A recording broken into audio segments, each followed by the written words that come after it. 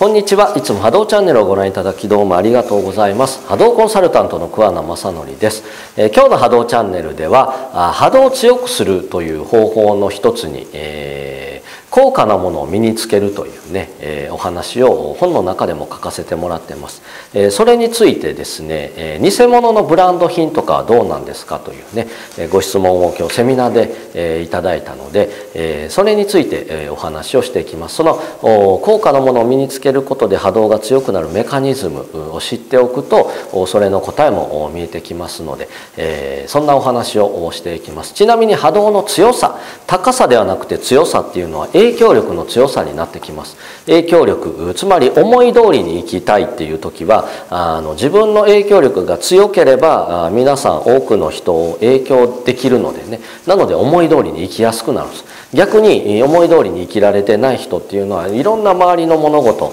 人や物仕事そういったものに影響されて生きてるってことなので自分が思うように生きられないっていうね。それのコツの一つが波動の強さですのでその方法の一つ高価なものを身につけるってことのお話をお伝えをしていきます。でこの動画では波動というものを使って願望を実現したりとか幸せや豊かになるコツそして自分らしく生きるコツなどをお伝えしています。でお伝えしている内容は僕のこれまでの14年以上にわたるセミナー経験やセッションの経験そして波動を使った企業のコンサルティングそういったことでクライアントに実際に効果のあったものを中心に波動という切り口でお伝えをしております。もしよろしければチャンネル登録をしていただければと思います。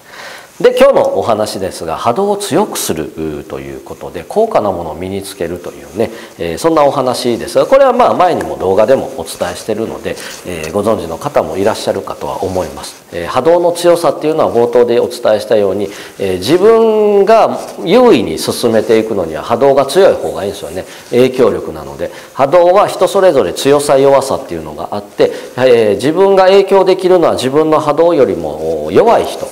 に影響を与えることができます。じゃあその波動の強さって何で変わってくるかっていうと体と心とエネルギーですが体でいうとやっぱ体が強い人の方が体が強かったり健康だったり大きかったりね、えそんな人の方が影響力が強くなります。あと声が大きかったりね、えそんな人の方が影響力が強くなる。波動が強くなる。で心で言うと自分のこと大好きで自分のこと信じてて、え、その信じる力の強い人ですよね、え、信念強い信念を持ってる人の方が波動は強くなります。でエネルギーで言うとエネルギーが大きい人、え、大きなエネルギーをお持ちの人の方が波動は強くなります。で自分の波動よりも弱い人に影響を与える。だから商談なんかで言うと売る側の方が波動が強いとその商談っていうのはこの売る側のペースで進む。だから契約に結びつきやすいんですけどお客様の方の波動が強ければあ何を言っても大して聞いてくれないというね、えそういうふうになってます。つまり、え自分の波動の強さが影響力の強さに変わりで、えその影響力が強い方があ思い通りに物事を進めやすくなる思い通りに生きやすくなるというそんな感じになってます。でその方法の一つに、え本に、え高価なものを身につけるというね、えそういうお話を書いてます。で実は高価なものっていうのよくねお金はエネルギーって言うじゃないですか。お金はエネルギー。で、えー、本当にそうで、えー、高価なものっていうのはあ100円よりも1万円のものだったら100円には100円分のエネルギーが入ってる。で、えー、1万円には1万円分のエネルギーが込められてるんですよねその品物に。でその1万円の品物を身につけると自分のエネルギーに、えー、1万円分プラスされるんですよね。で先ほどお伝えしたようにエネルギーの部分でいうとエネルギーが大きなものの方が波動は強くなる。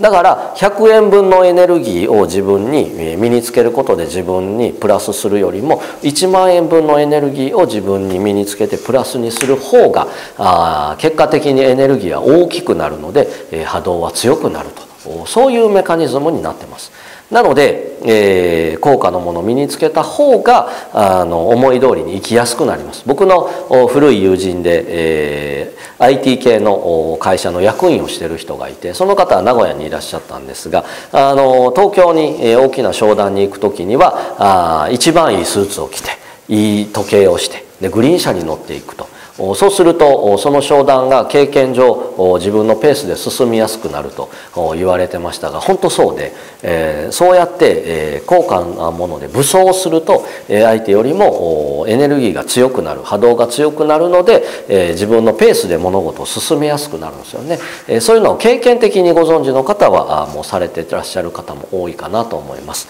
でこの効果っていうのがじゃあ結局お金かよみたいに、ね、なると思うんですけどいきなり高すぎるものを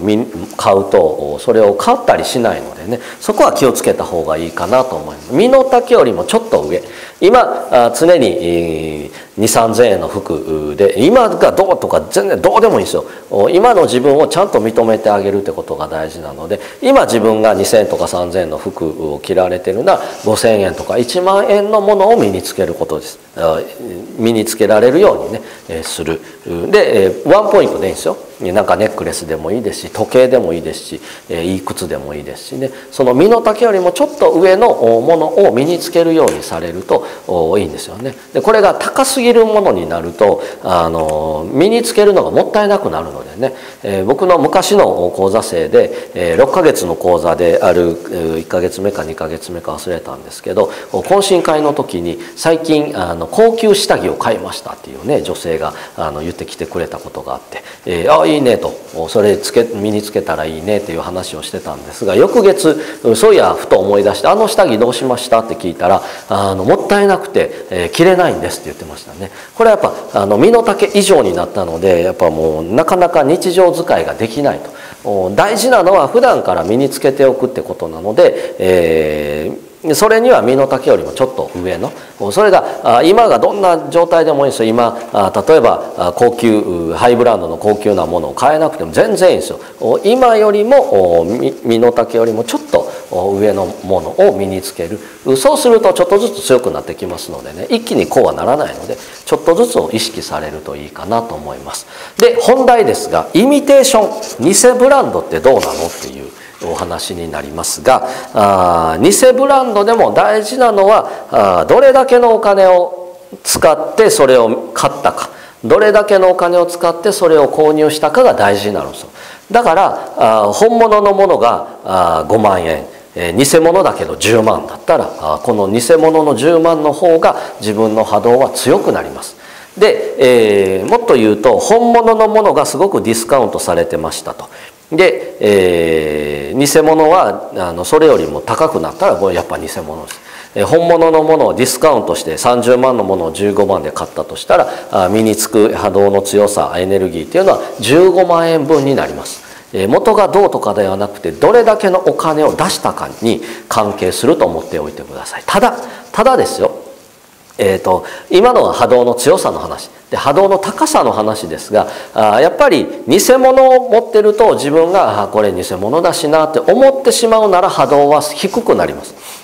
で、えーと、安くても本物のものを持ってたとしたらあこれ、えー、嬉しいと思って気分が上がるじゃないですか。それ気分上がると波動は上がるんです。高くなるんですよね、えー、気分下がると波動は低くなるので、えー、そういう意味で総合的に判断して、えー、ご自身で決めていただければ。別に偽物のブランドのものでもテンション下がらないというのはそれでもいいですしね、えーまあ、でもあえて高い偽物を持つ人はいないとは思いますが。はい。なので、ね、イミテーションのものでも波動は強くなります。それだけの分ね、え本物は到底持てないですけど偽物なら持てる。100万する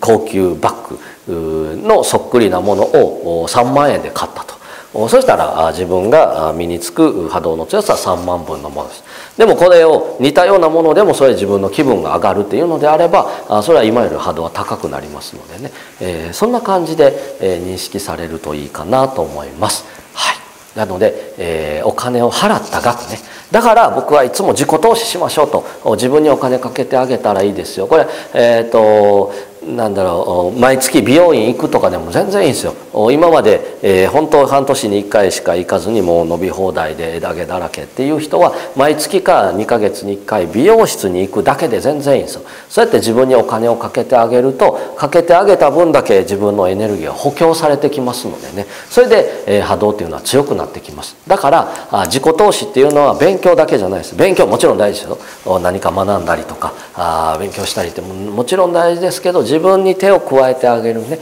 え、そういったこともすごく大事ですし、え、いいものを身につけるということも自分の波動を強くしてくれるのでね、えー、ぜひしていただくといいかなと思います、えー、今日のお話はあ波動自分にお金をかけたりとか持つもので、え波動を強くするというねお話をお伝えさせていただきました。でこういったお話以外に日々どうやって過ごしたらいいのかっていうことを LINE とメルマガでも、えウィークで毎日メッセージをお送りしてます、えー、生き方のこととか波動のこととかねそういったお話を毎日ウ